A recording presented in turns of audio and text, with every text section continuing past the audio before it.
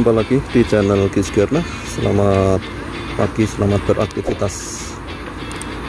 Sahabat, saat ini terlihat di depan outlet tunnel 11 Gunung Bohong. Ada beberapa aktivitas di sana. Yang minggu kemarin ini belum ada namun hari ini ada beberapa aktivitas sementara kalau kita lihat ke depan di jalur elevated itu ternyata sudah disiapkan batu-batu balas tumpukan batu-batu balas dari arah timur dari arah depan sana hingga ke depan outlet tunnel 11 ini sudah ada penumpukan batu balas. Yang tentu saja ini tidak akan lama lagi. Batu balas tadi akan diratakan kemudian dipadatkan dan baru dilakukan pemasangan bantalan dan rel.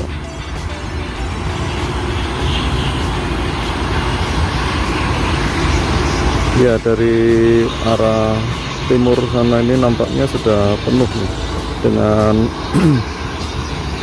batu-batu balas ya, tumpukan batu balas. Namun semuanya masih di jalur yang sebelahnya jadi belum semuanya ada karena mungkin untuk yang sebelahnya dipakai untuk lalu lalang kendaraan.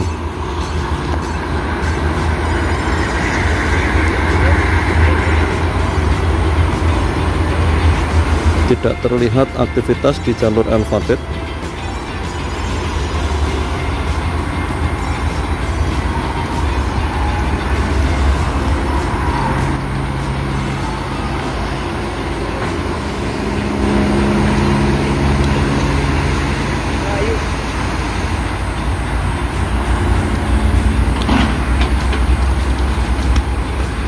Nah terlihat di sini di depan ini ada truk molen yang sedang melakukan pengecoran. Ini kemungkinan memang ada uh, pelaksanakan pengecoran untuk bagian saluran atau bagian uh, sanitasi karena yang biasanya dipakai untuk parkir uh, kometo transporter pun juga sudah dibuat saluran ini nampaknya untuk jalur elevated dengan jalur subgrade sana eh, terpotong lagi. Mungkin untuk pemadatan atau bagaimana ini karena terlihat ada eh, truk molen juga ada eskavator ya. Juga ada eh, pengeruk-pengeruk eh, batu berangkal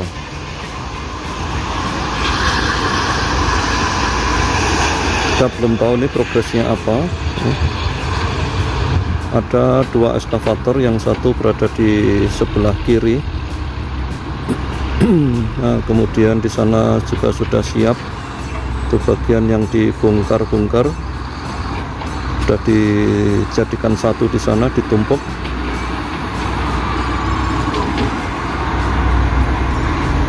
Mungkin untuk pemadatan ulang barangkali ya ini truk molen mundur lagi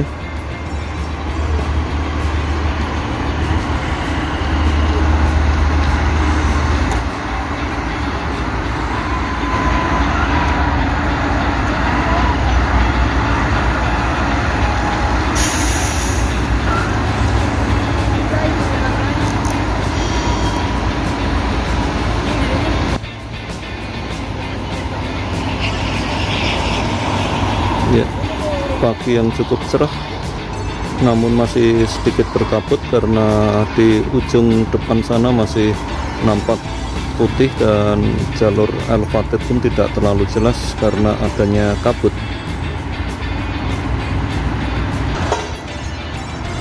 Ya sepertinya memang membuat selokan ini karena di bagian yang sebelah kiri ini ada eskavator yang sedang eh, melakukan pengerukan tanah.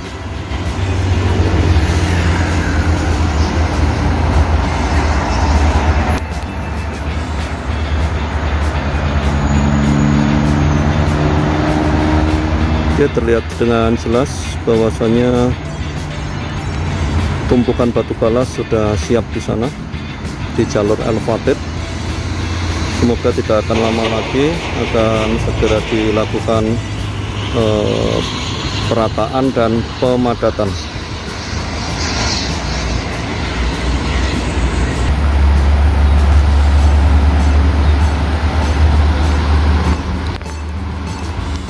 Dan kalau kita lihat ke depan lagi eh, dinding sound barrier yang sebelah kiri juga sudah nampak terpasang dengan rapi.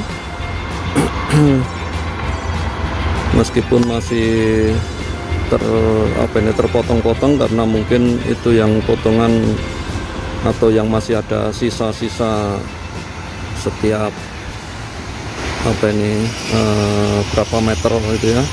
Mungkin untuk pemasangan dinding yang lainnya atau mungkin untuk penguatnya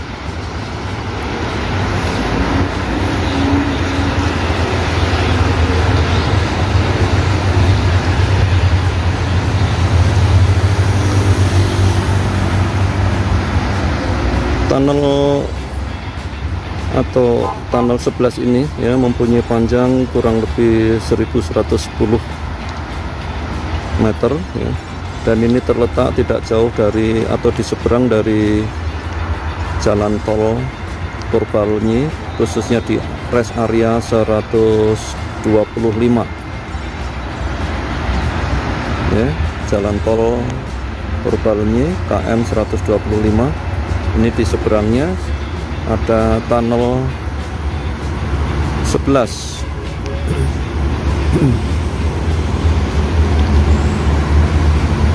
Ya, jadi nampaknya ini ada jarak antara subgrid dengan jalur elevated. Mungkin uh, dilakukan pondasi ulang barangkali ya.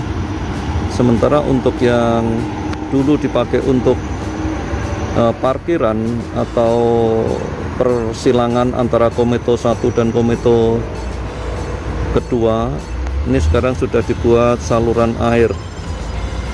Oke bagian tengah sudah ditutup sementara yang ujung itu masih kelihatan terbuka saluran airnya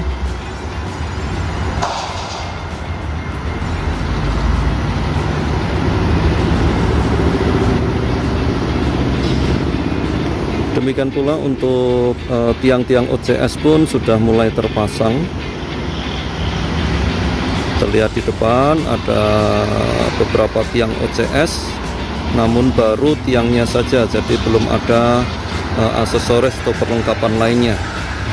Mudah-mudahan bisa segera uh, menyusul perlengkapan listrik aliran atas atau OCS overhead catenary system. Oke, sekian untuk informasi hari ini. Perkembangan uh, jalur kereta cepat Jakarta Bandung yang ada di sekitar tunnel 11 atau outlet tunnel 11 semoga bisa memberikan uh, tambahan informasi untuk kita semuanya terima kasih. Tetap semangat. Salam sehat. Sukses selalu